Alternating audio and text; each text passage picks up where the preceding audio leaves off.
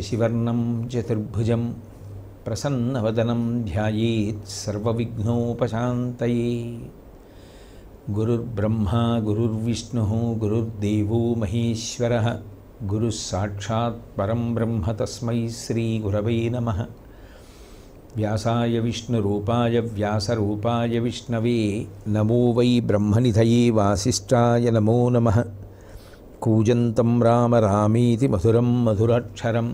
आरुह्य कविताशाखां वन्दे वाल्मीकिकौकिलं श्रुतिस्मृतिपुराणानाम् आलयं करुणालयं नमामि भगवत्पादशङ्करं लोकशङ्करं वागर्धाविव सम्पृक्तौ वागर्धप्रतिपत्तये जगतः पितरौ वन्दे पार्वतीपरमेश्वरौ सूक्तिं समग्रयतु न स्वयमेव लक्ष्मीः।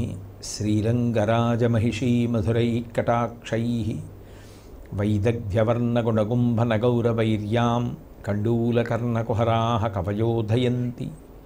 हैमोध्वपुण्ड्रमजहन्मकुटं सुनासं मन्दस्मितं मकरकुण्डलचारुगण्डं बिम्बाधरं बहुलदीर्घकृपाकटाक्षं श्रीवेङ्कटेशमुखमात्मनिसन्निधत्ताम्। విమలపటి కమలకుటి పుస్తకరుద్రాక్షసస్తహస్తపుటి కామాక్షి పక్ష్మలాక్షి కలిత విపంచి విభాసి వైరించి మనోజవం మరుతతుల్యవేగం జితేంద్రియం బుద్ధిమతాం వరిష్టం వాతాత్మజం వనరయూధముఖ్యం శ్రీరామదూతం శిరసా నమామి आपदामपहर्तारं दातारं सर्वसम्पदां लोकाभिरामं श्रीरामं भूयो भूयो नमाम्यहम् सिन्दूरारुणविग्रहां त्रिणयनाम् माणिक्यमौलिस्फुरत्तारानायकशैखरां स्मितमुखीम् आपीनवक्षौरुहाम्।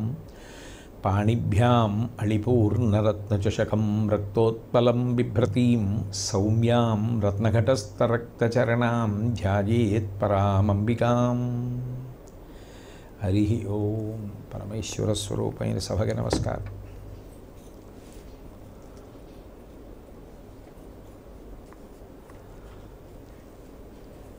లలితా సహస్రనామ స్తోత్రంలో అమ్మవారిని తరువాతి నామంలో రంజని అని కీర్తిస్తున్నారు.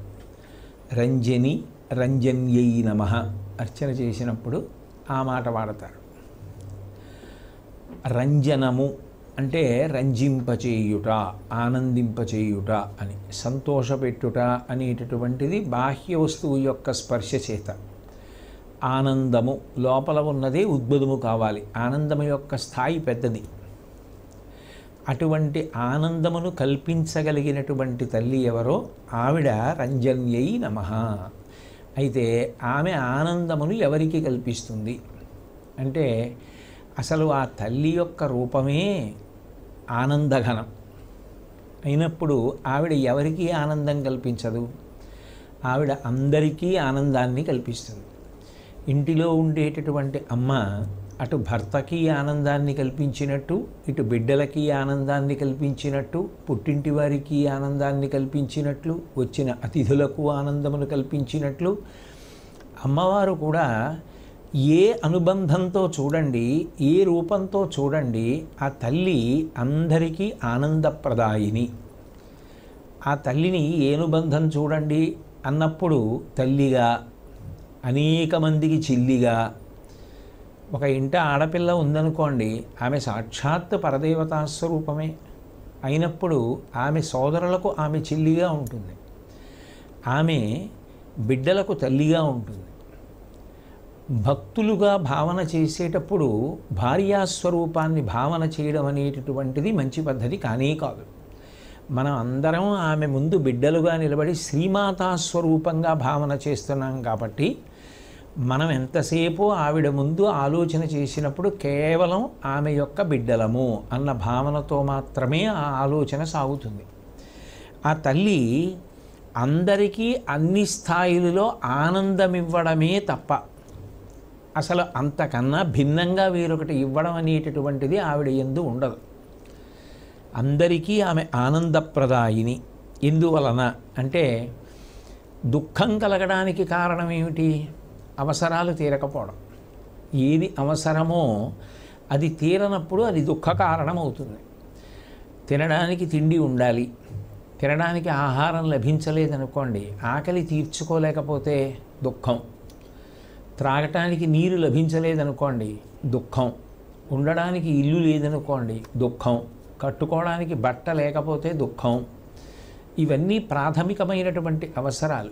మనిషి జీవితంలో ఒక్కొక్క సమయాన్ని బట్టి వయస్సుని బట్టి ఆశ్రమాన్ని బట్టి అవసరాలు నిరంతరం మారిపోతుంటాయి. ఒక వయస్సులో త తనకి తగిన ఇల్లాలు లభించడం అవసరం. ఆడపిల్లకి తగిన భర్త లభించడం అవసరం. ఒక వయసు అయిపోయిన తరువాత మంచి సంతానం కలగడం అవసరం. ఒక వయసు అయిపోయిన తర్వాత వాళ్ళకి మళ్ళీ సరి అయినటువంటి సంబంధాలు లభించడం అవసరం. తర్వాత ఉత్తములైనటువంటి వారు వంశంలో ప్రభవించడం అవసరం. ఈ అవసరం అనేటటువంటిది నిరంతరం కొనసాగుతూ ఉంటుంది. ఇందులో ఈ అవసరాలు తీరకపోవడమే దుఃఖ కారణం. అమ్మవారి పాదములను పట్టుకుని ఉన్నవారెవరుంటారో వారికి అవసరములు తీరక దుఃఖపడవలసినటువంటి అవసరము కలగకుండా ఆమె చూసి యువతల వారిని ఆనందమునందు ఉంచుతుంది. ఎందుకని? అంటే వాడు దుఃఖించవలసి వస్తే అవసరం తీరలేదని దుఃఖించడం కన్నా అమ్మా నువ్వు నాకెందుకు అక్కరకు రాలేదు అని ఏడుస్తాడు. నా ఎందు ఏ పాపం ఉన్నదమ్మా ఎందుకు నన్ నేను ఇలా బాధపడవలసి వస్తోంది? అని ఆవిడ దగ్గర ఆక్రోశిస్తాడు. మళ్ళీ తానే పొదివి పట్టి ఓదార్చవలసి ఉంటుంది. అందుకే ఆ భక్తి ఉన్నప్పుడు ఆవిడ ఏం చేస్తుంది అంటే గత జన్మలలో చేసినటువంటి పాపమే ప్రతిబంధకంగా వచ్చి అవసరం తీరక దుఃఖించవలసినటువంటి స్థితిని తొలగించి ఆనందించడానికి కావలసినటువంటి వ్యవస్థని కల్పిస్తుంది. అందుకే ఆమె అవసరాలు తీర్చడంలోనూ ఆనందప్రదాయిని. అంటే భగవంతుడు అంటే ఎప్పుడూ ఏదో ఇంకా మన అవసరాలు తీర్చేటటువంటి వ్యక్తిగా మాత్రమే ఆ స్థాయిలోనే భావన చెయ్యడం కాదు కదా. అది ఒక్కటే ఆనందము అనుకుంటే జీవితం అంతా ఇక లౌకికమే అయిపోతుంది. కాదు అంతకన్నా జీవితానికి ఇంకా ఇతర లక్ష్యములు ఉన్నాయి. ఆ లక్ష్యముల విషయంలో కూడా కృతకృత్యులమైతేనే ఆనందం అనేటటువంటి మాట నిరంతరంగా కలుగుతున్నట్టు. కాకుండా కేవలం భౌతికమైనటువంటి అవసరములు అంటే వాటికి అంతూ ఉండదు. ఆ భౌతికమైనటువంటి అవసరములు తీరడము వలన మాత్రమే నేను ఆనందమును పొందగలను అనుకున్నటువంటి వాడు శాశ్వతమైనటువంటి ఆనందమును నిరంతరమైన ఆనందమును పొందగలిగినటువంటి అవకాశము ఉండదు. అంటే అటువంటి ఆనందమును పొందగలిగి ఉండాలి అంటే ఒక వయసు వచ్చిన తరువాత ఏదో మార్పు కూడా మనసులో అవసరమై ఉండి ఉండాలి. అసలు మన అవసరాల గురించి ఆవిడ ఆలోచించాలి అంటే కేవలం ఏదో పొద్దున్నే లేచి నేను ఒక్క క్షణం దీపం పెట్టానండి లేకపోతే ధూపం వేశానండి కాదు కదా. ఆ తల్లి ఎందు భక్తి ఉండడం ప్రధానమై ఉంటుంది. అంటే మీరు నన్ను ఒక ప్రశ్న వేయచ్చు. ఏమంటే లౌకికంగా జీవనం చేసేటప్పుడు గృహస్థాశ్రమంలో ఉన్నప్పుడు ఇరవై నాలుగు గంటలు భజన చేసుకుంటూ పూజ చేసుకుంటూ కూర్చుంటామా? ఏమీ భక్తి అంటే అని కాదు. తల మీద కుండ నిండా నీళ్ళు పట్టుకుని నడిచి వెడుతున్నటువంటి వనిత ఎప్పుడూ పై తల మీద ఉన్నటువంటి కుండ గురించే ఆలోచిస్తూ పక్కవారితో మాట్లాడుతూ విడితో కాల్లో చిన్న ముళ్ళు గుచ్చుకున్న చటుక్కున ముందు రెండు చేతులు పైకి లేచి కుండని పట్టుకున్నట్టు. ఏది చేస్తున్నా ఆమె ఎందు ఉన్నటువంటి ఆలోచన స్రవంతి ఎడతెరగక ఎడతెగక సాగుతూ ఉంటే అది భక్తి. అందుకని తైలధార పడినట్లు అన్నారు. అప్పుడు ఒక స్థాయిలో ఏమవుతుంది అంటే అసలు నిజానికి ఆనందమునకు కారణము భక్తి అయిపోతుంది. అదొక విచిత్రం. భక్తుడి జీవితంలో ఎలా ఉంటుంది అంటే ఒక అవసరం తీరకపోవడం కూడా ఆయన ఆనందానికి కారణమే. అదేమిటండి అలా ఎలా ఆనందిస్తారు? అంటే ఈ అవసరం తీరక నేను దుఃఖపడుతున్నాను అంటే నా పాపం ఏదో పోతోంది. ఆ పాపం అడ్డొచ్చింది. దానివల్ల అవసరం తీరలేదు. నాకు దుఃఖం కలిగింది. కాబట్టి చేసిన పాపం పోయింది. అప్పుడు ఆయన ఆనందానికి అవసరం ప్రతిబంధకం ఎలా అవ్వగలదు?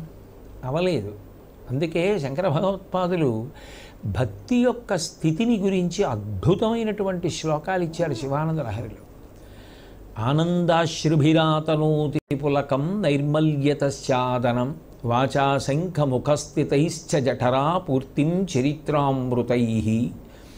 రుద్రాక్షైర్భసితేన దేవ వపుషో భవద్భావనాపర్యంకే వినివేశ్య భక్తి జననీం భక్తార్భకం రక్షతి అంటారు. భక్తుడు అర్భకుడు అంటే దాని అర్థం?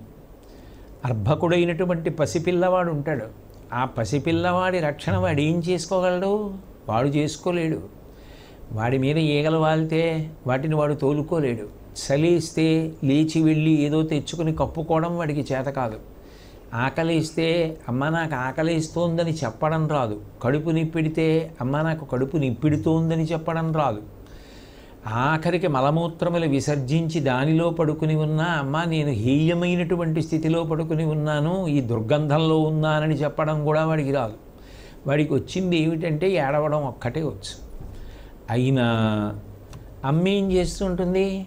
ఎప్పుడూ వాడిని ఆనందంలో ఉంచడం అమ్మ యొక్క కర్తవ్యం. అమ్మవాడిని నిరంతరం చూసుకుంటూ ఉంటుంది. ఆకలిస్తుందేమో అని పాలిస్తుంది. వాడిని ఈగలు కొడతాయేమో అని చెప్పి వాడికి మెత్తటి బట్ట కప్పుతుంది. దోమలు రాకుండా దోమలు ప్రవేశించకుండా ఒక గొడుగు పెడుతుంది. వాడు నిద్రలో ఏదైనా ఉలిక్కి పడతాడేమో ఓ రుద్రాక్ష మెళ్ళో కడుతుంది. వాడికి నొసటన బొటనవేలితో విభూతి పెడుతుంది. వాడికి పాలు పట్టేటప్పుడు భగవత్ సంబంధమైనటువంటి విషయములు చెప్తూ వాడికి మనసుకి ఊరట కలిగేటట్టు వాడు సంతోషం పొందేటట్టు వాడికి మంచి మాటలు చెప్తూ భగవత్ సంబంధం చెప్తూ వాడికి పాలు పడుతుంది. భక్తి కలిగిన వాడికి భక్తి అన్న తల్లి ఏం చేస్తుంది? అమ్మ వలన వీడు ఆనందంగా ఉన్నాడు. నిజానికి వీడు ఆనందంగా ఉండడం వీడి శక్తి వలన కాదు పసిపిల్లవాడు. భక్తుడు ఆనందంగా ఉండడం ఆయన శక్తి వలన కాదు. ఆయన భక్తియే ఆయనకు తల్లి. భక్తి జననీ భక్తి అమ్మాయి అయి కూర్చుంటుంది. కూర్చుంటే ఏమవుతుంది? ఆనందాశ్రుభిరతనోతి పులకం. ఎప్పుడు ఏదో భగవంతుడి గురించి ఆలోచిస్తుంటాడు. ఓ చంద్రబింబం చూస్తే ఏదో జ్ఞాపకం వస్తుంది. ఆకాశం వంక చూస్తే ఏదో జ్ఞాపకం వస్తుంది. చెట్టు వంక చూస్తే ఏదో జ్ఞాపకం వస్తుంది. ఓ చిగురుటాకు వంక చూస్తే ఏదో జ్ఞాపకం వస్తుంది. ఎప్పుడు మధుర పదార్థం తినేసిన వాడు త్రీంచినట్టు అట్లా భగవతి గురించి ఏదో ఆలోచన చేస్తూనే ఉంటాడు. ఆ ఆలోచన చేయడంలో కన్నుల వెంట ఆనంద భాష్పాలు పడుతూ ఉంటాయి. పిల్లవాడు ఏడుస్తూ ఉంటాడు. అమ్మ కనపడగానే ఏడు పాపేసి కేరింతలు కొట్టేసి ఇట్నుంచి పడుతున్న కన్నీరు ఇట్నుంచి ఆనంద భాష్పాలుగా పడిపోతుంది. అలా ఆ భక్తి కలిగిన వాడికి ఏ పరిస్థితిలో ఉన్నాడు కాదు. ఆ భగవంతుణ్ణి తలుచుకు తలుచుకు తలుచుకు తలుచుకు పొంగిపోతూ ఉంటాడు. ఆనందాశ్రుభిరాతనోతి పులకం. అమ్మ వచ్చి ముట్టుకోగానే అమ్మ వచ్చి పట్టుకోగానే అమ్మ వచ్చి గుండెలకు హత్తుకోగానే వాడికి పులకాంకురములు వచ్చినట్టు వాడికి ఆ భగవంతుడి గురించి ఆలోచిస్తూ ఆ ధ్యానం చేస్తూ భగవంతుని యొక్క ఆరాధన చేయడంలో మమీకమైనటువంటి వాడికి మనసా అనుభవిస్తున్నటువంటి వాడికి నిరంతరము ఆ పులకాంకురములు వచ్చి సంతోషపడిపోతూ ఉంటాడు. ఆనందాశ్రుభిరాతనోతి పులకం నైర్మల్యతశ్చాదనం. అమ్మ పిల్లవాడి మీద ఏదైనా పురుగు పాకితే కనపడుతుందని లేత రంగున్నటువంటి బట్ట కప్పుతుంది. ఓ తెల్లటి బట్టో పసుపచ్చటి బట్టో అటువంటి బట్ట కప్పితే ఏదైనా పాకితే వెంటనే కనపడుతుంది ఏ చెవిలో దూరుతుందో ఏమో తెలియాలి కదా అని చెప్పి ఏదో ముదురు రంగులు పెద్ద పెద్ద పువ్వులున్నవి కన్నా లేత రంగు అయితే కనపడుతుందని అటువంటిది కప్పుతుంది. అప్పుడు వాడు నిర్మలంగా హాయిగా పడుకుంటాడు. భక్తి ఏం చేస్తుంది? ఆ నిర్మలత్వాన్ని ఇస్తుంది. ఎందుకని? మనసు లోపల దోషం అంటడానికి మనసు లోపల ఉద్వేగం పొందడానికి కావలసిన విషయాలు లేవు. ప్రశాంతతనివ్వగలిగినటువంటి భగవత్ సంబంధమే ఆయన హృదయంలో ఉంది. ఆయనకి ఉద్వేగం కలిగి ఆయన అస్తమానం రజోగుణంతో ఊగిపోయే అవకాశం ఎక్కడుంది? కాబట్టి నైర్మల్యతశ్చాదనం. వాచాశంఖముఖస్థితైశ్చ జఠరాపూర్తిం చరిత్రామృతై. అమ్మ ఉగ్గు గిన్నెలో పోసి పాలు పట్టినట్టు శంఖంలో పోసి తీర్థం పట్టినట్టు భగవంతుని యొక్క గుణములు భగవంతుని యొక్క కథలు నిరంతరము భక్తి కలిగిన వాడు అట్లా చదువుకుని చదువుకుని చదువుకుని గుర్తు తెచ్చుకొని మురిసిపోయి ఆనందపడిపోయి వాటిని చెవులలోంచి స్వీకరించి కడుపు నింపుకుని పొంగిపోతుంటాడు. రుద్రాక్షైర్భసితేన దేవ వపుషో రక్షాం అమ్మ రక్ష పెట్టినట్టే భక్తి అన్న తల్లి ఏం చేస్తుంది? ఇది నన్ను కాపాడుతుంది అని భగవత్ సంబంధమైనవి ధరిస్తాడు. ఏదో విభూతి ధారణము రుద్రాక్షమాలా ధారణము ఇటువంటివన్నీ చేస్తాడు. రుద్రాక్షైర్భసితేన దేవ వపుషో రక్షాం భవద్భవనాపర్యంకే వినివేశ్య భక్తి జననీ. పరవశానికి కారణాల్లో ఊయల ఒకటి ఊగుతున్నారనుకోండి అదో సంతోషం. వెంటనే మనసు ఏదో తేలిక పడుతుంది. కాసేపు అలా ఉయ్యాలా ఊగారనుకోండి. ఏదో తేట పడుతుంది మనసు ప్రశాంతత పొందుతుంది. అందుకే ఇళ్ళలో ఉయ్యాల ఉంచుకొని పెద్ద పెద్ద కొయ్య ఉయ్యాలలు పెద్దవాళ్ళు కూడా కాసేపు ఊగుతారు. ఊగాలి కూడా. ఆరోగ్య కారణం. కాసేపు అలా ఊగితే మంచి ఆలోచనలు వస్తాయి. మనసు ప్రశాంతపడుతుంది. ఏదో సంతోషంగా ఉంటుంది. అవసరం కదూ జీవితంలో అన్నీ అవసరమే. గృహస్థాశ్రమంలో ఉన్నవాడు ఆ బట్టి ఉయ్యాల ఊగితే పెద్ద దోషం పట్టేయడానికి ఏం లేదు అందులో. కాబట్టి భవద్భావనా పర్యంకే ఎప్పుడు ఏదో అలా ఆలోచన మీద ఆలోచన ఆలోచన మీద ఆలోచన ఏదో ఆ భగవంతుడి గురించి చేస్తూ ఆనందపడిపోతూ ఆ భావనలన్న ఊయలలో ఊగుతూ ఉంటాడు. ఆ ఊగుతూ నిద్రపోయి చిట్ట చివరికి నిద్రలో కూడా అవే ఊహలు చేసుకుంటూ ఉంటాడు. భవద్భావనా పర్యంకే వినివేశ్య భక్తి జననీం భక్తార్భకం రక్షతి. భ అర్భకుడైన పిల్లవాణ్ణి తల్లి కాపాడినట్టు భక్తుణ్ణి భక్తి అన్న తల్లి కాపాడేస్తోంది. అప్పుడు ఆయనకి చాలా అవసరాలు మనసులో ప్రవేశించే అవకాశం ఉండదు. ఆయనకి ఏది లభిస్తే దానితో చాలా తృప్తిగా జీవనం చేసేస్తుంటాడు. నిజానికి లోపల పెద్ద ఏమి సంఘం లేకుండా ఉంటాడు.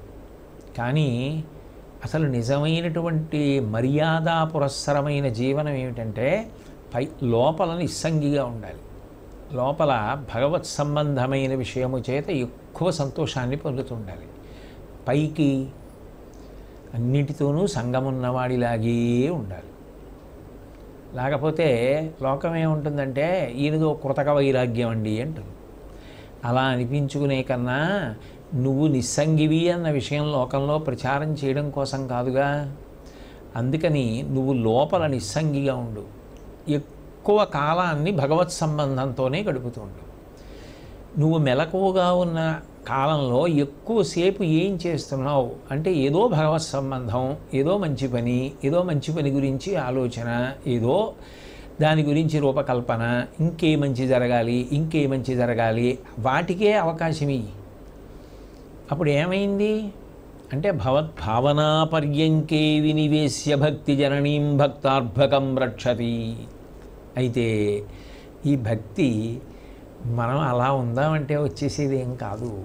అలా వచ్చేసేది అయితే ముహూర్తం పెట్టుకుని అందరూ చేస్తారు. కాదు కదా దానికి కూడా భగవత్ కటాక్షం ఉండాలి గురువుల అనుగ్రహం ఉండాలి.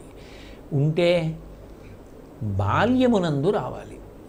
చిన్నతనంలో వచ్చిన భక్తి దృఢపడుతుంది విస్తరిస్తుంది శాఖోపశాఖలవుతుంది. అది ఒక వయసు దాటిపోయిన తర్వాత వచ్చిందనుకోండి అందులో చాలా పశ్చాత్తాపం ఉంటుంది. ఇంతకాలం అయిపోయాక నాకు తెలిసింది. ఇది నాకు ముందు తెలిసి ఉంటే జీవితాన్ని ఇంకొక రకంగా సార్థక్యం చేసుకుని ఉండేవాడిని. చాలా వరకు జీవితం అయిపోయింది. కాబట్టి ఇప్పుడు ఉన్న సమయం తక్కువ ఉన్న సమయంలో తెలుసుకున్న దాన్ని అనుష్ఠించడానికి అవకాశం కుదరట్ల. అన్న పశ్చాత్తాపం ఏర్పడుతుంది. అది ఏర్పడకుండా ఉండాలి అంటే బాల్యమునందు భక్తి కలగాలి. బాల్యమునందు భక్తి కలగడం అంత చిన్న విషయమా? అది భగవదనుగ్రహం ఉంటే కలిగి పరిఢవిల్లి ప్రతిబంధకములను ఎదుర్కొని విస్మృతి పొందకుండా చ్యుతి పొందకుండా అది దినదిన ప్రవర్ధమానమై ఊడలు తొడగాలి. తొడిగితే ఆ జీవితము ఫలవంతమైందని గుర్తు. ఇది జరగాలి అంటే నిజానికి ఎవరి అనుగ్రహంతో జరగాలి? ఆ తల్లి అనుగ్రహంతోనే జరగాలి. అప్పుడు ఆ జీవితం ఎంత రంజకత్వం ఎంత ఆనందం ఆయనకి ఏం కావాలి? ఆ- ఆయన ఆనందం పొందడానికి ఏముంటే ఆనందం ఆయనకి? ఆయనకి ఏమున్నా ఆనందమే. ఆకాశం చూసిన ఆనందమే చంద్రవంక చూసిన ఆనందమే అష్టమి చంద్రుడు ఆనందమే పౌర్ణమి చంద్రుడు ఆనందమే అమావాస్య నాడు కనపడకపోవడము ఆనందమే గడ్డి పరక ఆనందమే రావి చెట్టు ఆనందమే మర్రి చెట్టు ఆనందమే కొబ్బరి చెట్టు ఆనందమే ఏది చూసినా ఈశ్వర నిర్మాణ వ్యూహ దక్షత చూసి పురిసిపోతూ ఉంటాడు. అప్పుడు ఆయన ఆనందపడడానికి ఏ కారణాలు ఉండాలి? ఏం తోచట్లేదండి. ఏమిటో సంతోషంగా ఉందామంటే కబుర్లు చెప్పుకోవడానికి మనిషి లేడు. ఇంకోడు ఉంటే తప్ప నువ్వు ఆనందంగా ఉండలేకపోతే నీ ఆనందం పరిమితం అయిపోలా కాబట్టి ఆ తల్లి ఏం చెయ్యగలదు? రంజని అన్న మాటకు అర్థం ఏమిటంటే నువ్వు ఎప్పుడూ ఆనందంగా ఉండడానికి ఏవి మంచి కారణాలో అవి నీకు ఇవ్వగలదు అవి జీవుణ్ణి పాడు చేసేవి కాకూడదుగా. నేను ఇది బుక్ చేసుకుంటే చాలా ఆనందంగా ఉంటానండి అని బుక్ చేసుకుంటానంటే అట్లా ఉండకూడదు. ఏది జీవోద్ధరణ చేస్తుందో అది పుచ్చుకోవాలి. అంటే భక్తి పానము చేయాలి కదా?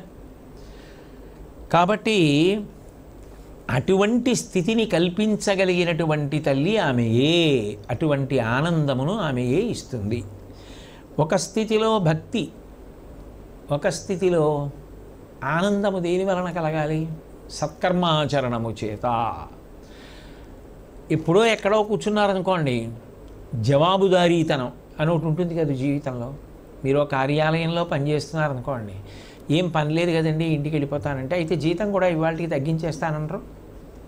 పని ఉన్నా లేకపోయినా ఉండాలంతే. పది నుంచి ఐదున్నరో ఐదో అక్కడ ఉండాలి తప్ప ఇవాళ ఏం పని లేదండి ఇంటికి వెళ్ళిపోతానంటే మీరే చెప్పారు కదండి కాగితం అలా అని రాసి ఇచ్చేయండి ఇవాళకి జీతం వద్దులేండి అనరు అట్ జవాబుదారీతనం నువ్వు ఒప్పుకున్నాక ఆ ఉద్యోగంలో అక్కడ ఉండాలి ఆ సమయంలో అంతే.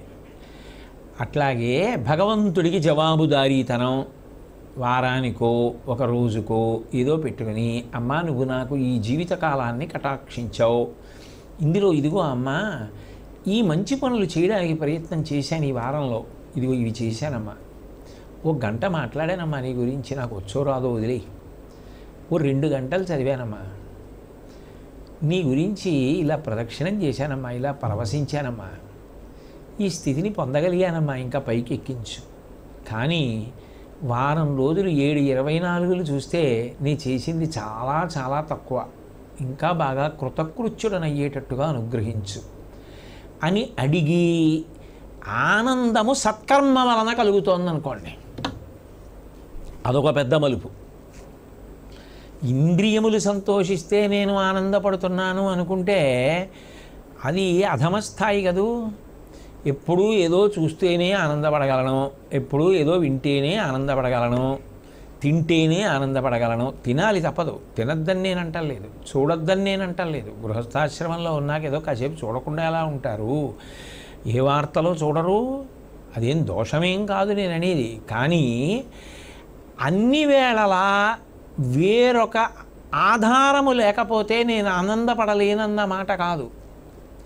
సత్కర్మాచరణము చేత ఆనందము. నేను అమ్మ గోశాలకి వెళ్ళి ఇవాళ నాలుగు మొక్కల దగ్గర పెరిగినటువంటి కలుపు పీకేశాను. ఒకరు చెప్పవలసిన అవసరం ఏముందమ్మా? దానికి ఎవరో చెప్పాలా?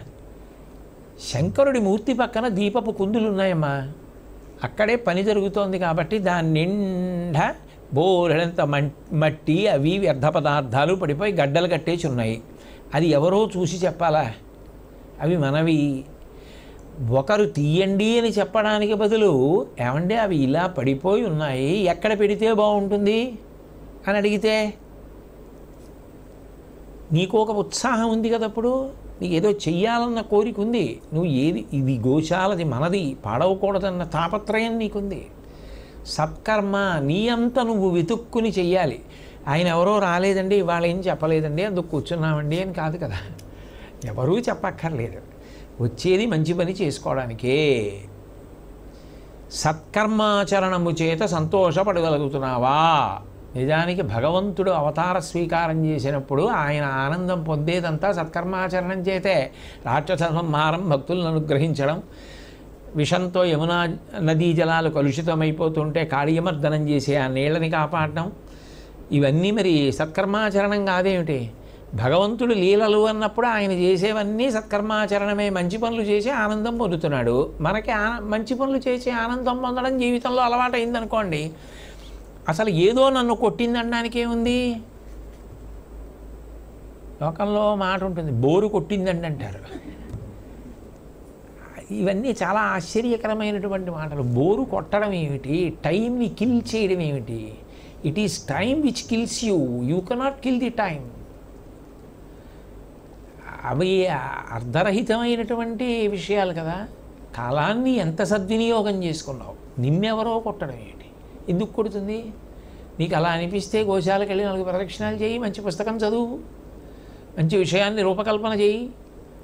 ఈ పని చేస్తే బాగుంటుందేమో అని ఒక ఆలోచన చెయ్యి ఇప్పుడు నాకు రాదండి అంటే అసలు ఆలోచిద్దామన్న ఉత్సాహం ఆలోచించగలనన్న నమ్మకం నీకేవి? అబ్బాయి అది మన పని కాదండి అనే ఓ నిర్ణయానికి వచ్చేస్తే ఇంకెలా ఆలోచిస్తాడు? కాబట్టి సత్కర్మాచరణము చేత సంతోషము. మంచి పనులు చేయడంలో సంతోషం. అబ్బా ఎన్ని పనులు లభిస్తున్నాయో ఇంకా ఈ పని ఆ పని ఆ పని. ఈ పనులన్నీ చేయగలుగుతున్నాం. ఎంత సంతోషమో కొంత కొంతమంది కార్యకర్తల్ని చూస్తే భలే ముచ్చటేస్తుంది. ఒక్కొక్కసారి నేను వాళ్ళు ఏదో ఇదే చేస్తున్నారులా ఉందనుకుంటాను. వాళ్ళని పలకరించి అడిగితే వాళ్ళు చేస్తున్న పనులు చెప్పిన తర్వాత నాకు నిజంగా ఆశ్చర్యంగా ఉంటుంది. అబ్బా ఇన్ని పనులు చేస్తున్నారా? ఇంత తాపత్రయంగా తెల్లవార కట్టొచ్చి మహాస్వామి వారి మండపం దగ్గర నుంచి పెద్ద గోశాల వరకు ఇంత సంతోషంగా ఇన్ని చేస్తున్నారా వీళ్ళు? అని నాకు ఎంత ముచ్చటగా ఉంటుందో ఆ రోజు అది జ్ఞాపకం వచ్చినప్పుడల్లా నేను ఆనందపడుతుంటా వాళ్ళ గురించి. ఎంత చక్కగా చేస్తున్నారా ఎంత ఉత్సాహం రా వీళ్ళకి పనులు చేయడంలో. అది ఈశ్వర కటాక్షం కదా అనిపిస్తుంది. సత్కర్మాచరణము చేత ఆనందమును పొందుట. ఒక స్థితిలో వైరాగ్యము మహదానందము. ఇంకా ఎన్నాళ్ళు తాపత్రయం? నా జీవుణ్ణి ఒబిడి చేసుకోవాలి కదా ఇక ఏది ఎటురాని? నేను మాత్రం భగవంతుని యొక్క చరణములను పట్టుకొని ఉంటాను. ఊగిపోను. సుఖస్పర్శకి కదిలిపోను దుఃఖస్పర్శకి కదిలిపోను. అన్నీ సమానమే. అనపేక్ష శుచిర్దక్ష ఉదాసీనో గతవ్యద సర్వారంభ పరిత్యాగి యోమ భక్త సమీప్రియ అంటే అడిగితాచార్యుడు అసలు కో కోరిందే లేదు. ఇంకా ఏడవడానికి ఏముంది? అసలు మొదలైపోయింది. వైరాగ్యానికి మొదలెక్కడా? అసలు ఓ ఆలోచన లోపల ఉంటే. అసలు ఇది కావాలన్నదే లేదు ఇంకా ఆయనకి దుఃఖించడానికి ఏముంది? సంతోషపడడానికి ఏముంది? ఎప్పుడూ ఇలాగే ఉంటాడు. వైరాగ్యం ఎలా వస్తుందండి? వైరాగ్యం ఎలా వస్తుంది? వైరాగ్యం ఎలా వస్తుంది? నీ కోరికపోతే వైరాగ్యం వస్తుంది. లోపల ఏ విధమైన ప్రతిపాదన మనసు చేయకుండా ఊరుకుందనుకోండి. ఏది లభిస్తే దానితో తృప్తిగా. అబ్బా చాలా కాలం తినాలి లేవాయ్ శరీరం నిలబడ్డానికి తిను. అని అలవాటు చేసుకున్నాడు. ఏమీ తనంత తాను ఏమీ కోరడు. వచ్చినది కాదనడు. ప్రశాంతంగా ఉంటాడు. అనపేక్ష శుచి దక్ష. అలా ఉండగలిగాడు అనుకోండి భక్తితో పాటు వైరాగ్యం రాలా? అవన్నీ ఆనందం కావు అవన్నీ ఆనందములే. ఆనందంగా ఉండడం అంటే ఎప్పుడు ఏదో ఇంద్రియాలకి మేత పడుతుండడం ఒక్కటే కాదు కదా శాస్త్రంలో. కాబట్టి ఎప్పుడు ఏ విధమైనటువంటి ఆనందము జీవితమునందు లభించడానికి కావలసినటువంటి వ్యవస్థ రూపకల్పన కావాలో అటువంటి వాటినన్నింటినీ రూపకల్పన చేసి నీకు అందించి కృతకృత్యుడను చేసి నీ జీవితము సంతోషమయంగా ఉండేటట్టుగా చేయగలిగినటువంటి తల్లి ఎవరో ఆమెయే రంజని. అప్పుడది ఆవిడ గుణం.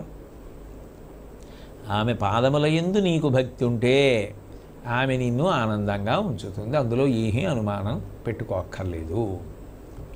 ఎలా ఆనందంగా ఉండాలో అలా ఆనందంగా ఉంచుతుంది. కాబట్టి రంజిన్ రంజన్యై నమ అంటారు. ఇందులో ఒక విషయాన్ని మీ కొంచెం కొనసాగించి ఆలోచిస్తే గమనించవలసినటువంటి విషయం ఒకటి ఉంటుంది. వివేక చూడామణి శంకర భగవత్పాదులు చేస్తూ ఒక మాట అంటారు. అసలు మనిషి జీవితంలో నాకేదో ఇల్లుంది నాకు వాహనం ఉంది కొడుకున్నాడు కోళ్ళుంది కూతురుంది అల్లుడుంది మనవలు ఉన్నారు అందరికీ ఉన్నారు. ఏదో ఇందులో ఒకటి ఒకళ్ళకు ఉండకపోవచ్చు ఇంకోటి ఒకటి కూడా ఉండొచ్చు అంతే. తప్ప అందరికీ ఇవన్నీ ఉన్నాయి. మా ఇంట్లో కొబ్బరికాయ ఉంది మీ ఇంట్లో కొబ్బరికాయ ఉంది. మా ఇంట్లో రోలు ఉంది మీ ఇంట్లో ఉంది. మా ఇంట్లో పొయ్యి ఉంది మీ ఇంట్లో పొయ్యి ఉంది కానీ నీకు ఉండవలసినవి అంటూ ఏమైనా ఉంటే మనిషికో నాలుగు ఉన్నాయా? అవి ఉన్నాయా? పరిశీలించుకో. ఆ నాలుగు నాకేం లేవండి. జాగ్రత్త పడు. ఎందుకంటే కోట్ల జన్మల తర్వాత వచ్చింది మనుష్య జన్మ. ఆ నాలుగు నాకు తెలియదంటే ప్రమాదం ఉస్మా? ఆ నాలుగే నీ ఆనందమునకు కారణములు. ఇప్పుడు కాదు. చిట్ట చివర. నిరతిశయ ఆనంద స్వరూపమైన మోక్షాన్ని పొందడం వరకు ఈ నాలుగే ప్రాతిపదికలు. ఇవి తెలుసా? జాగ్రత్త పడు అంటారు. వాటిలో సాధన చతుష్టయము అని పిలిచారు శంకర భగవత్పాదులు అందులో అన్నారు శ్రద్ధా భక్తి ధ్యాన యోగాన్ముముక్షో ముక్తేర్హేతూన్వక్తి సాక్షాత్తు శృతేర్గి యో వా ఏతశ్వవతిష్టస్య ఏతేష్వతిష్టత్యముష్య మోక్షో విద్యాకల్పితా దేహబంధాత్. నీకు జీవితంలో తప్పకుండా వచ్చి ఉండవలసినవి తెలిసి ఉండవలసినటువంటివి శ్రద్ధ ఉందా ఏర్పడిందా? పరిశీలన బాగా చేసుకో. భక్తి ఏర్పడిందా? ధ్యాన. ధ్యానం గురించి ఏమైనా తెలుసా? ఏమైనా ధ్యానం చేయడం అనేటటువంటి ప్రక్రియ ఎందు ప్రవేశం ఉన్నదా ధ్యానం చేసి సంతోషించడం ఆనందించడం వచ్చా? కూర్చుని నిన్ను నువ్వు మరిచిపోగలవా ధ్యానంలో? యోగాన్. యోగము గురించి తెలుసా? ఇవి తెలియకపోతే మిగిలినవి ఏ ఉన్నా ఇక్కడ వదిలి వెళ్ళిపోయేవి. ఆ పూటకి ఆ గంటకి పనికొచ్చేవి. రోలు ఉంది కొబ్బరి పచ్చడి చేసుకోవడానికి పనికి రావచ్చేమో జీవుణ్ణి ఉద్ధరించేయడానికి మాత్రం రోలు ఏం చేయలేదు.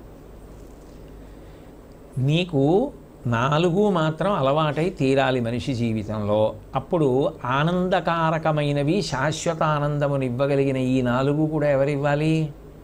ఆ తల్లి ఇవ్వాలి శంకర భగవత్పాదులు ఏది చెప్పినా చాలా గంభీరంగా చెప్తారు.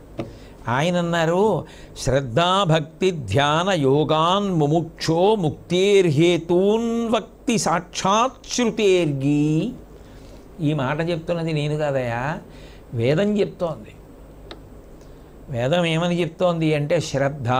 శ్రద్ధ అంటే శాస్త్రవాక్యమునందు నమ్మకమున్నదా? శాస్త్రం ఏది చెప్పిందో అది సత్యము అని నమ్మడం నీకు అలవాటైందా? భక్తి. భగవంతుని ఎందు నీకు ప్రేమ స్వభావం ఉన్నదా? ప్రేమ ఏర్పడడానికి కారణం ఉంటుంది. ఈవిడ మా అమ్మ అందుకు ప్రేమించావు. మా నాన్నగారు ప్రేమించావు. మా గురువు గారు ప్రేమించావు. భగవంతుడు వీళ్ళందరికన్నా ఎక్కువ. నిరంతరం నీకు మహోపకారం చేసేది ఎవరు? నీ జ్ఞాపక శక్తి ఎవరు? నీ మాటలు ఎవరు నీ చదువెవరు? నీ ఊపిరెవరు? నీ గుండె చప్పుడెవరు? నీలో ఉన్న ప్రధానమైన అవయవాల కదలికలన్నీ ఎవరు?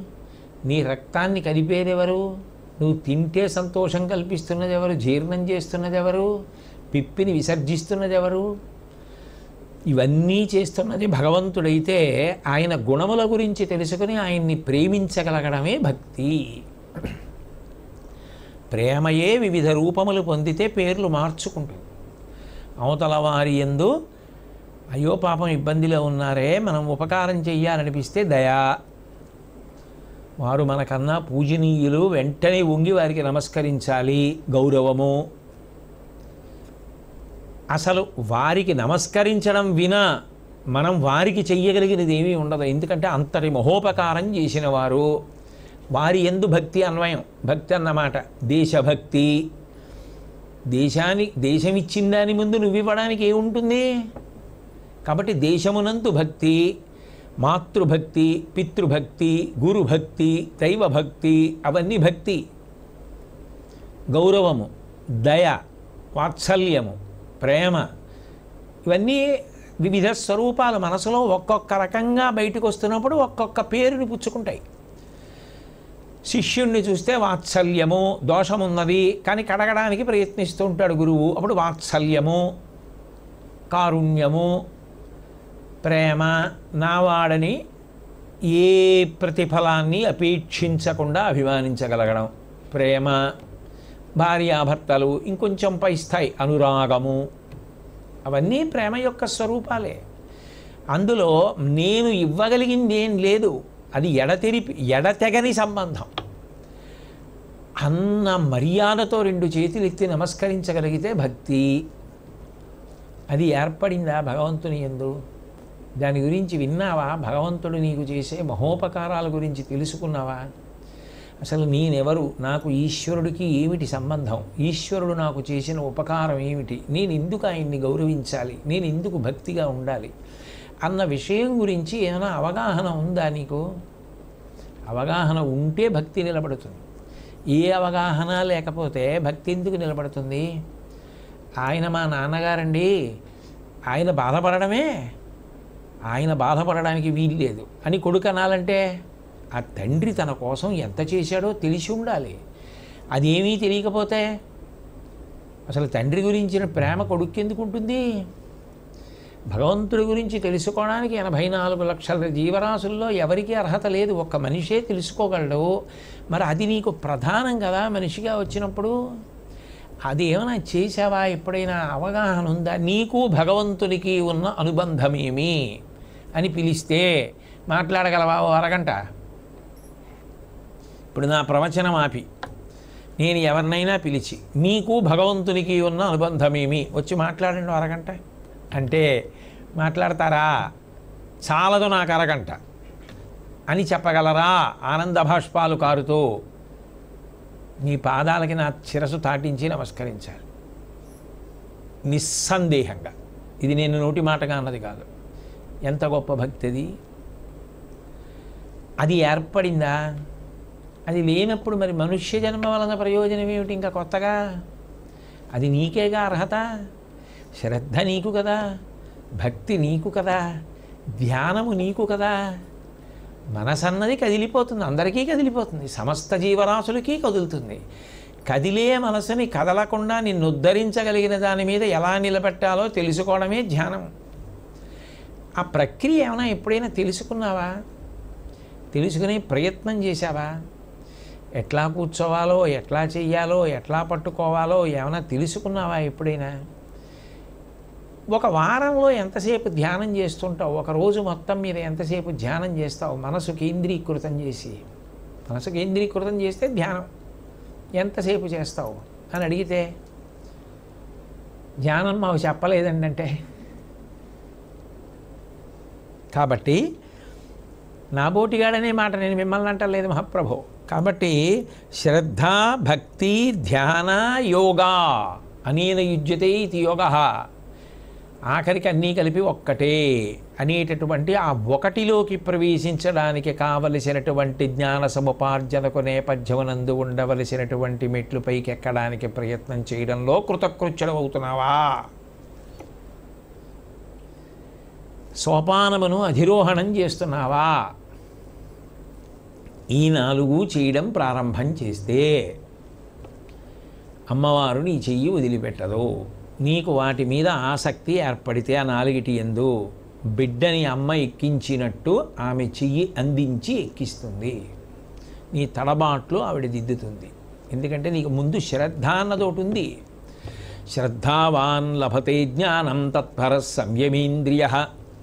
జ్ఞానం లద్ధ్వా పరాం శాంతిం అధిగచ్చతి అంటాడు కదా గీతాచార్యుడు.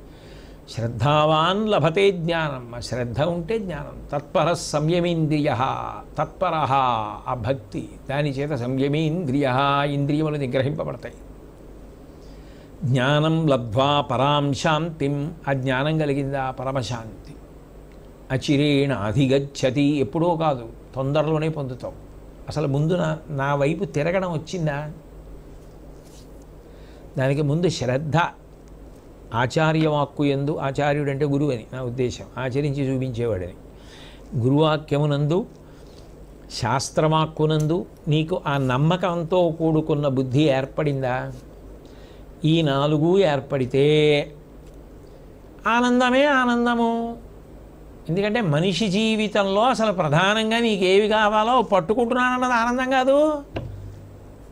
ఇందాక భక్తి గురించి చెప్పానా ఆనందం అని శ్రద్ధ ఆనందమా పరిష్కారం సిద్ధంగా ఉందా? ఓ దుఃఖపడుతున్నానంటే ఒకనాడు ఏదో చేసి ఉంటానది పోతోంది ఇప్పుడు. కాబట్టి దుఃఖపడకుండా ఉండాలంటే ఇక పైన నేను పాపం చేయకుండా ఉండాలి. తెలిసిపోయిందిగా. కాబట్టి ఇవి ఎవరు పట్టుకుని ఎక్కుతున్నాడో వాడు శ్రద్ధాభక్తి ధ్యాన యోగాన్ ముముక్షో ముక్తేర్హేతూన్ వక్తి సాక్షాత్ శృతేర్గి. వాడు మోక్షమును పొందుతాడు అనేటటువంటిది నిస్సందేహమైన విషయం. ఈ జన్మలో కాకపోవచ్చు ఈ జన్మలో కావచ్చు. ఆ తల్లి మాత్రం నిన్ను పైకే ఎక్కిస్తుంది తప్ప కిందకి జారిపోవు. అయినప్పుడు యోవా ఏతశ్వవతిష్టత్యముష్య దాని ఎందే పట్టుకుని ఎవడు నిలబడుతున్నాడో కింద పడ్డా మీద పడ్డా మళ్ళీ అందులోకి ప్రవేశించి ఊంచుకొని నిలబడి పైకెక్కడానికి ఎవడు ప్రయత్నిస్తున్నాడో. వాడు మోక్షో విద్యా కల్పిత దేహబంధాత్. అవిద్య నుండి విముక్తుడై దేహబంధనముల నుండి విడిపోతున్నాడు. మోక్షమును పొందుతున్నాడు. అంటే దానికి అర్హత ఎక్కడుంది? మానవ జన్మ ఎందు ఉన్నది.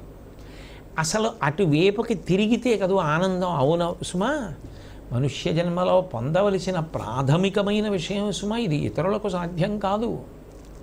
మిగిలినవి అన్నీ అంటారా? నేను ఎంత మాత్రం తక్కువ చేయట్లేదు. కానీ అవి సాధారణమైన విషయాలు. అన్నం తిన్నాను అందరూ తిన్నారు. నీళ్ళు తాగాను అందరూ తాగారు. భార్య ఉంది అందరికీ ఉంది. భర్త ఉన్నాడు అందరికీ ఉన్నారు. పిల్లలు ఉన్నారు అందరికీ ఉన్నారు. పెళ్ళిళ్ళు చేశాం అందరూ చేశారు. కోడళ్ళు వచ్చారు అందరికీ వచ్చారు. మనవలు పుట్టారు అందరికీ పుట్టారు. రోలు ఉంది అందరికీ ఉంది. నాకేముంది? ఈ నాలుగు ఉండాలి. ఉన్నాయా? ఎలా తెలుసా వీటి గురించి? ఈ నాలుగింటి గురించి తెలియలేదు అంటే అసలైనవేవో వదిలేసావు కదూ జీవుడికి సంబంధించినవి? అప్పుడు ఆనందం ఎలా? అంటే ఈ నాలుగిటి వైపుకి ప్రవేశించానని చ్యుతి పొందకుండా పైకెక్కుతూ ఉండడమే గొప్ప ఆనందం. అధిరంజన్యై నమ. ఆ ఆనందం ఎవరివ్వాలి? ఆవిడే ఇవ్వాలి. ఆ తల్లే ఇవ్వాలి. అట్లా ఎక్కించగలిగిన తల్లి చివరికి అది ఎంత కలిపి ఏమవ్వాలి? ఇవ ఇప్పుడు అన్నం వండుకోవడానికి ఏం చేస్తారు? ముందు బియ్యం తీసుకొస్తారు. మూడు మాటలు శుభ్రమైన నీళ్ళతో కడుగుతారు. చెయ్యి అడ్డెడతారు. అందులో పొట్టు పుల్లు ఊక పురుగు అన్నీ పోయేదాకా కడిగేస్తారు. కడిగేసిన తర్వాత ఏదో ఓ సోల బియ్యం పోస్తే రెండు సార్లు మూడు సార్లు నీళ్ళు పోస్తారు. పోసిన తర్వాత తీసుకెళ్ళి ఆ వండే పాత్రలో పెట్టి అగ్నిహోత్రం వెలిగించాలి కదూ? వెలిగించారు. ప్రతి బియ్యపు మెతుకు అన్నమైందా అని గడిగడికి చూస్తుంటారా? అదే అయిపోతుంది అత్తిసరు. అన్నం అయిపోతుంది అంతే. ఇవన్నీ చేయడం ఎందుకు? అన్నం కోసం. అన్నీ చేసి అగ్ని వెలిగించకపోతే అన్నం ఏది అలాగే ఉంటాయి బియ్యం. పొయ్యి వెలిగించడం మర్చిపోయానంటే పొయ్యి వెలిగించడం ముఖ్యం కదా? జ్ఞానాగ్ని ఏర్పడాలి. ఈ ముందు జరిగిన వ్యవస్థ యొక్క ఫలితం ఏమిటి? అన్నం ఉడకాలి. అలా ఈ సత్కర్మాచరణము ఈ శ్రద్ధ ఈ భక్తి ఈ ధ్యానము ఈ యోగము చిట్ట చివరికి దీనికి వెడుతుంది. అంటే ఆ అమ్మవారు ఏం చేస్తుందంటే ఎవడి కర్తవ్యము వాడు చేశాడా చూస్తుంది వాడు చేశాడు వాడికి ఆ జ్ఞానం ఇచ్చేస్తుంది. అది ఎప్పుడు ఇస్తుంది? ఎవ్వరికీ తెలియకపోతుంది ఆఖరి ఊపిరిలో ఇవ్వచ్చు. లేదు అకస్మాత్తుగా ఎప్పుడో కలగచ్చు. అది పుస్తకాలు చదువుకుంటే వచ్చే జ్ఞానం కాదు. నేను ఆత్మ నైనం చిందంతి శస్త్రాణి నైనం దహతి పావక నచైనం క్లేదయంత్యాపో నశోషయతి మారుత.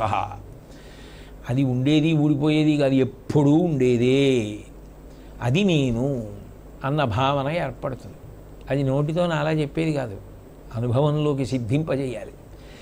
ఆ జ్ఞానము కలగాలి. ఆ జ్ఞానం ఎవరివ్వాలి ఆవిడే ఇస్తుంది. ఆ జ్ఞానము వలన మోక్షము. అది మహదానందం.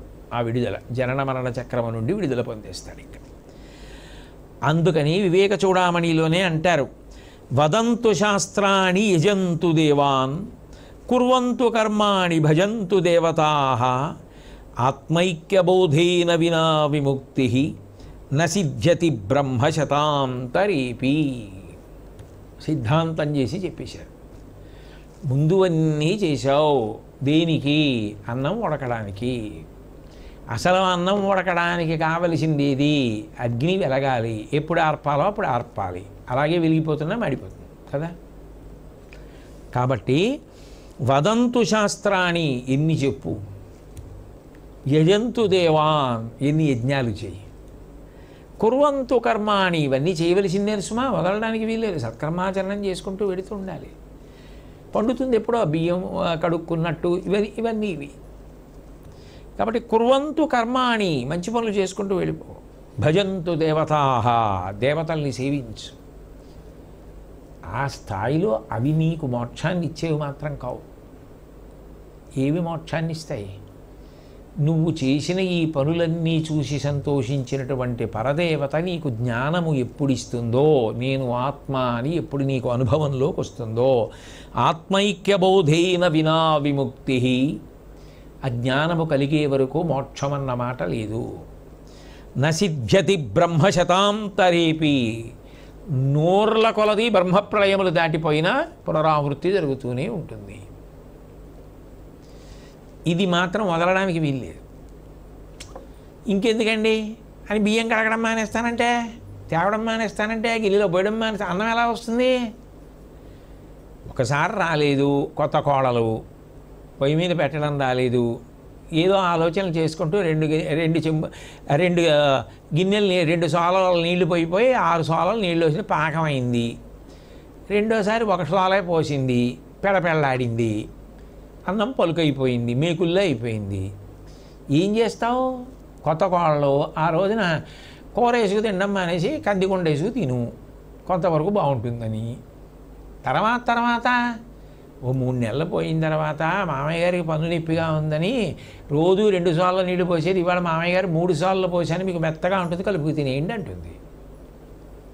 అభ్యాసయోగేన తతో మామిచ్ఛాప్తం ధనంజయ. అభ్యాసం చేయవయా? వదిలేస్తే ఎలా? చెయ్యి. చేస్తే అదే వస్తుంది. అభ్యాసము కూసు విద్య. సాధనమున పనులు సమకూరు ధరలోన. అనగమనగరాక